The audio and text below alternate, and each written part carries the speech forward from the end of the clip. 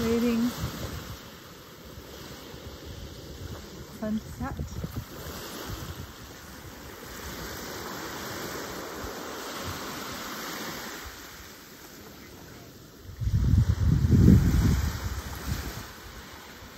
So this morning we walked this whole beach way down to the end, way around that bend.